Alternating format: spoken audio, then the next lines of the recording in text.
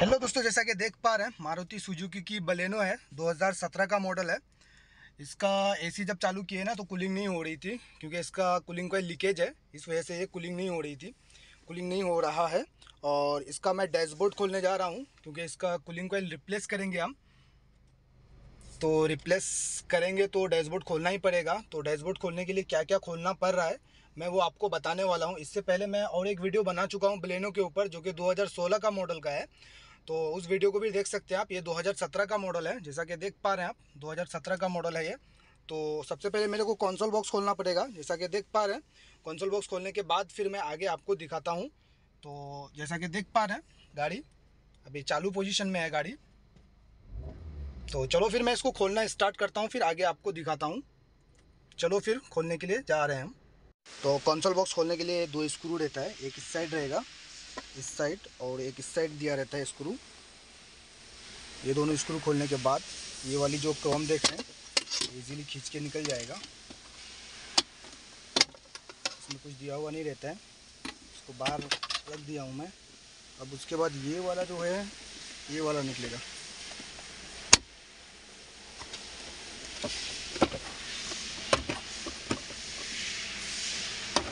जैसा कि देख पा रहे ये भी निकल गया। और इसको घुमा के आप खोल दीजिए तो बेटर रहेगा। ये खुल जाता है। तो मैं खोलता हूँ, फिर खोल के आपको आगे दिखाता हूँ। तो ये कोई कोई गाड़ी में खोलने वाला दिया रहता है, पर ये खुल नहीं रहा है तो मतलब ये नहीं खुलेगा। तो इस वजह से इसको ऐसे ही रख देते हैं, इसमें लॉक दिया है। ये वाला।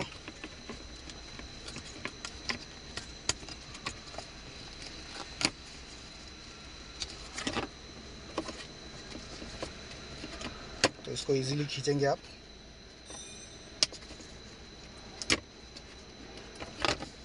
जैसा कि देख पा रहे हैं, निकल गया ये। ये भी निकल गया। अब इसके बाद ये वाला रही।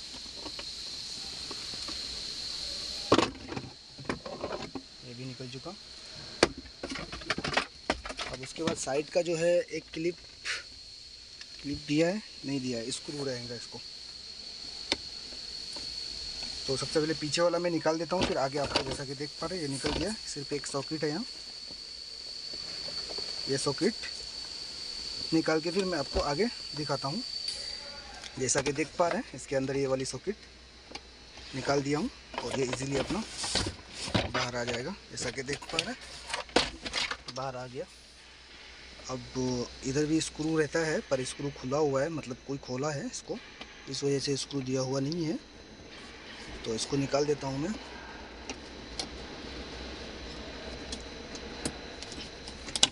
यहाँ क्लिप दिया है। ये देखो, यहाँ एक स्क्रू है और एक यहाँ स्क्रू है।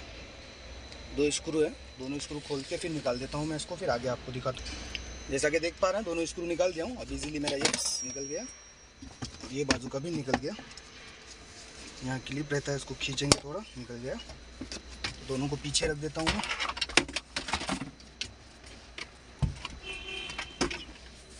अब जैसा कि देख पा रहे हैं कंसोल बॉक्स पूरा मेरा निकल चुका। अब ये बारह नंबर जो चार बोल्ट दिया है गियर बॉक्स खोल के पलटी मार देता हूँ मैं, फिर आगे आपको दिखाता हूँ।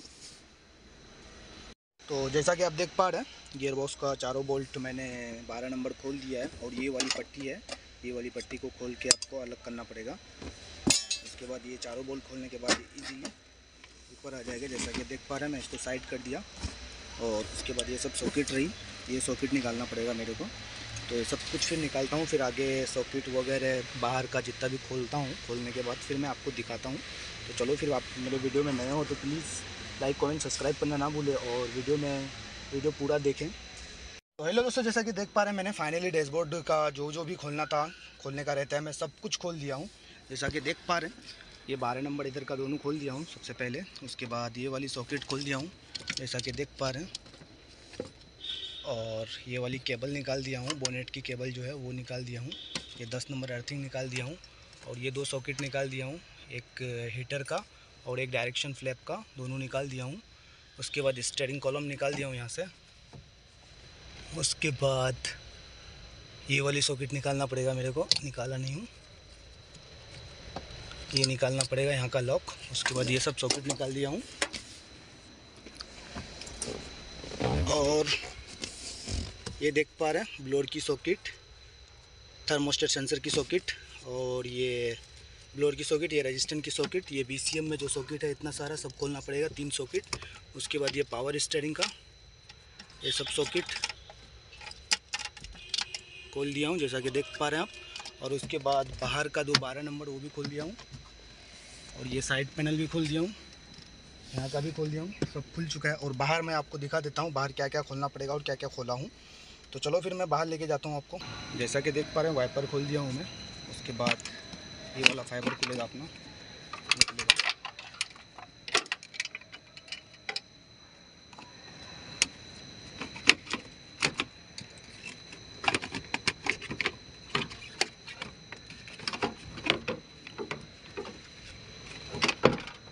भी निकल चुका। और इसके अंदर एक बारह नंबर रहता है यहाँ। यहाँ से दिख नहीं रहा है। जैसा कि देख पा रहे ये वाली। तो ये खोलता हूँ, फिर खोल के मैं आगे आपको दिखाता हूँ। तो हेलो दोस्तों, जैसा कि देख पा रहे फाइनली ये डैशबोर्ड खोल दिया हूँ मैं। बाहर से जो जो मैंने आपको दिखाया, वो बारह नंबर का जो बोल्ट था, वो भी खोल दिया हूँ। सब खुल चुका है। अब मेरे को पलटी मारने का है। तो पलटी मार के मैं सीट के ऊपर होल्ड करके दिखाता हूँ। ये हैंड ब्रेक नीचे लेना पड़ेगा मेरे को। होल्ड करके फिर नीचे मैं आपको दिखाता हूँ। तो चलो फिर मैं डैशबोर्ड को पलटी मारता हूँ। फिर आगे आपको दिखाता हूँ। तो हेलो दोस्तों, जैसा कि देख पा रहे हैं डैशबोर्ड पूरी निकल चुकी है अपनी। जैसा कि आप देख पा रहे हैं। अब ये रही कंट्रोल यूनिट मेरा क्लाइमेट कंट्रोल यूनिट को हम खोलेंगे। तीन बोल्ट दिया है, दस नंबर। जैसा कि आप देख पा रहे हैं, एक यहाँ दिया है और एक इधर दिया है, दो और तीन बाहर साइड से दिया है। तो फिर मैं इसको खोलता हूँ। खोलने के बाद फिर आगे आपको दिखाता हूँ। तो चलो फिर मैं खोलने लग जाता हूँ। फाइनली मैं इसको खोल चुका हूँ, जैसे कि देख पा रहे हैं दो अंदर से दिया हुआ रहता है और एक ये, दो, तीन, एक वो, तीन बाहर से दिया हुआ रहता है। तो चलो फिर मैं इसको बाहर लेता हूँ, बाहर ले करके खोलता हूँ, फिर आपके आगे आपको दिखाता हूँ। तो जैसा कि आप देख पा रहे हैं, मैं इसको फाइनली बाहर ले चुका हूँ और ये फ़र्स्ट टाइम खुल रही है डैशबोर्ड डैशबोर्ड भी फ़र्स्ट टाइम खुल रहा है और ये यूनिट भी फ़र्स्ट टाइम खुल रही है। तो चलो फिर मैं कूलिंग कॉइल को बाहर लेता हूँ, बाहर ले करके फिर मैं आगे आपको दिखाता हूँ। तो फाइनली जैसा कि देख पा रहे हैं मैं कॉइल निकाल दिया हूँ और ये निकल जाएगा अपना ऐसा।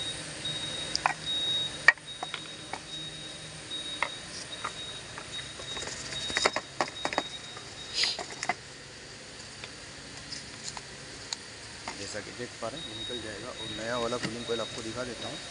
और इसका प्राइस भी देख लीजिए आप।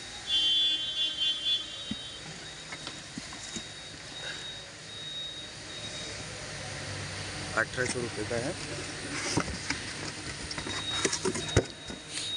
नया वाला। तो चलो इसका एक्सपेंशन वॉल एक्सपेंशन वॉल खोल के मैं इसमें लगा के दिखाता हूँ आपको। तो जैसा कि देख पा रहे इसमें से एक्सटेंशन वाल निकाल दिया हूँ। ये भी एक्सटेंशन वाल और नए वाले में एक्सटेंशन वाल दिया नहीं है कंपनी से। तो मैं इसमें फिटिंग करके फिर कूलिंग कॉइल इसमें ट्रे में बैठा करके कंट्रोल यूनिट में आपको दिखाता हूँ। तो जैसा कि देख पा रहे हैं कूलिंग कॉइल बैठ चुकी है अपनी। अब मेरे को ये वाली ट्रे में इसको मैं बैठा देता हूँ, फिर आगे आपको दिखाता हूँ। तो हेलो दोस्तों जैसा कि देख पा रहे हैं, मैं फाइनली इसको फिट कर दिया हूँ। जैसा कि आप देख पा रहे हैं, पूरा फिट हो गया प्रॉपर तो चलो फिर मैं इसको अब गाड़ी में फिटिंग करने जा रहा हूँ।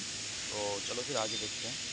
तो हेलो दोस्तों, जैसा कि देख पा रहे हैं, मैं फाइनली फिट कर दिया हूँ। जैसा कि कंट्रोल यूनिट देख पा रहे हैं, सब फिट हो चुका है। और मैं बाहर भी फिट कर दिया हूँ और नाइट्रोजन का प्रेशर मार के लीक टेस्टिंग को लगा दिया हूँ, जैसा कि मैं आपको बाहर दिखा दे रहा हूँ। तो जैसा कि आप देख पा रहे हैं, बाहर सब फिट हो चुका है। सिर्फ़ कॉल पैनल लगाना बाकी रहा, और लो वाले में मैं एडेप्टर लगा दिया हूँ, और नाइट्रोजन का बाटला रहा है। और ये देख पा रहे हैं 200 से ऊपर थोड़ा प्रेशर रखा हूँ, और एक घंटा कम से कम रखेंगे। जब तक मेरा अंदर का फिटिंग हो जाएगा, फिर उसके बाद प्रेशर मैं आपको दिखाऊँगा। तो चलो फिर मैं आगे फिटिंग करने के लिए लग जाता हूँ। तो हेलो दोस्तों, जैसा कि देख पा रहे हैं, मेरा फाइनली सब फिटिंग हो चुका है, जाके जैसा कि मैंने बाहर आपको दिखाया। तो चलो फिर मैं डैशबोर्ड को पलटी मार देता हूँ, यानी गाड़ी में फिटिंग कर देता हूँ, फिर आगे आपको दिखाता हूँ। तो हेलो दोस्तों, जैसा कि देख पा रहे हैं, मैं फाइनली डैशबोर्ड को डाल दिया हूँ, जैसा कि आप देख पा रहे हैं। अब मैं इसको सब सॉकेट जितना भी जो कुछ भी खोला हूँ, सब इसका फिटिंग करके फिर मैं आगे आपको दिखाता हूँ। तो चलो फिर मैं फिटिंग करने के आने के लिए लग जाता हूँ और आगे आपको दिखाता हूँ। तो हेलो दोस्तों, जैसा कि देख पा रहे हैं, मैं गियर बॉक्स वगैरह सब बैठा दिया हूँ, जैसा कि आप देख पा रहे हैं। और इधर की सॉकेट सब बैठा दिया हूँ, इधर की भी सॉकेट सब बैठा दिया हूँ, जैसा कि आप देख पा रहे हैं। सब कुछ फिट कर दिया हूँ। गलती से मैंने यहाँ खोलने टाइम ना ये सॉकेट खोलने टाइम मैं पावर स्टेयरिंग बोल दिया था, जो कि पावर स्टेयरिंग की नहीं थी। ये अपना ग्लास की जो सॉकेट रहती है पावर विंडो की सॉकेट बोलने का था। मेरे को तो मैं पावर विंडो बोल दिया था एयर बैग वगैरह की सॉकेट अर्थिंग वगैरह। की सॉकेट थी तो मैं गलती से पावर स्टेयरिंग बोल दिया था, उसके लिए सॉरी तो चलो फिर आगे मैं सब फिटिंग करके, जो भी खुला है, बाकी मेरा कंसोल बॉक्स वगैरह बैठा करके सब फिटिंग करके फिर मैं आगे आपको दिखाता हूँ। तो चलो फिर मैं फिटिंग करने लग जाता हूँ। तो हेलो दोस्तों, जैसा कि देख पा रहे हैं, गाड़ी मेरी पूरी फाइनल फिट हो चुकी है। जैसा कि देख पा रहे हैं कंसोल बॉक्स जितना भी, जो कुछ भी खोला था, मैंने सब फिटिंग कर दिया हूँ। जैसा कि देख पा रहे हैं आप, पूरी गाड़ी फिट हो चुकी है। अब मैं आपको बाहर दिखा देता हूँ, नाइट्रोजन का प्रेशर जो मारा था वो होल्ड है या नहीं है, और कॉल पैनल वगैरह सब फिटिंग कर दिया हूँ, वो भी दिखा देता हूँ। तो चलो फिर मैं बाहर आपको दिखा देता हूँ। जैसा कि आप देख पा रहे हैं, सब फाइनली पूरा फिट हो चुका है, और मैं प्रेशर लाइन लगा हुआ है, और प्रेशर देख पा रहे हैं आप। प्रेशर होल्ड पे है, जितना मारा था उतना ही है। तो चलो मैं प्रेशर छोड़ देता हूँ।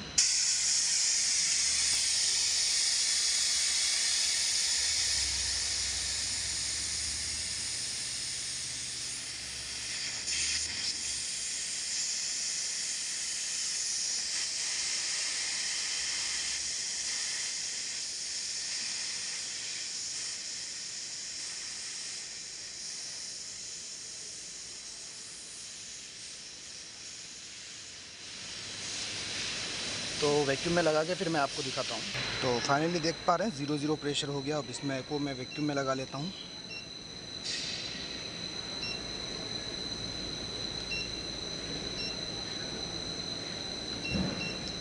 पंद्रह मिनट के लिए वैक्यूम सेट कर दिया हूँ। तो पंद्रह मिनट बाद फिर मैं आपको आपसे मिलता हूँ।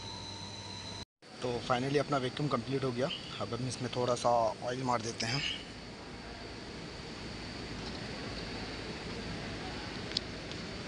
गैस चार्जिंग को ले लेता हूँ। 400 ग्राम मारते हैं। फिर आगे अंदर गाड़ी चालू करके फिर मैं आपको आगे दिखाता हूँ। जैसा कि देख रहे हैं, गैस फिल हो चुका है। तो चलो मैं गाड़ी के अंदर जाता हूँ, फिर आगे आपको दिखाता हूँ। तो हेलो दोस्तों, जैसा कि देख पा रहे हैं, मैं गाड़ी के अंदर आ चुका हूँ। फाइनली फिट सब प्रॉपर फिटिंग करके गाड़ी चालू कर चुका हूँ और एसी चालू है अभी। अपना जैसा कि देख पा रहे हैं, गाड़ी भी चालू है एसी चालू है। कूलिंग टेम्परेचर देख लीजिए आप। सेवन पॉइंट नाइन पे आ चुका है कूलिंग टेम्परेचर एट, नहीं ट्रिप हो रहा है कॉम्प्रेसर तो कूलिंग प्रॉपर हो रहा है। ब्लोर स्पीड सब प्रॉपर चल रहा है। फ्रंट डिफोगर भी प्रॉपर चल रहा है। रियर डिफोगर भी प्रॉपर चल रहा है। मोड बटन भी प्रॉपर सब चेंज हो रहा है। ऑटो का भी स्विच चल रहा है प्रॉपर ऑफ़ का भी प्रॉपर चल रहा है। आउटसाइड एयर भी प्रॉपर चल रहा है।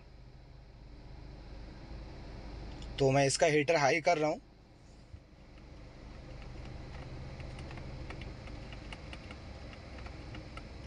जैसा कि देख पा रहे हैं हाई पे कर चुका हूँ।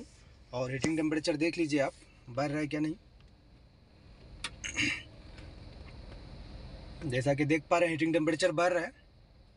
तो थोड़ी देर वीडियो होल्ड करता हूँ और देखता हूँ हीटिंग टेम्परेचर कितना तक जा रहा है। तो ये गाड़ी का जो वीडियो है ना, मैं और एक वीडियो बनाया हूँ। बलेनो 2016 का मॉडल का और ये 17 मॉडल का है।